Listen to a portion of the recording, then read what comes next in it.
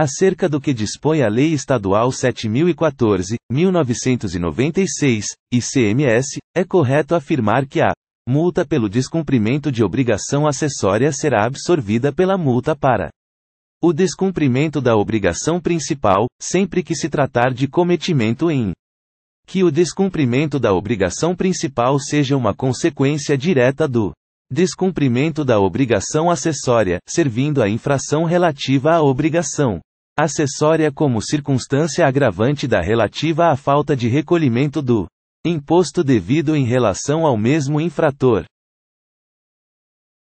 Analisando a questão, você responde: verdadeiro ou falso? O gabarito é verdadeiro. Artigo 42.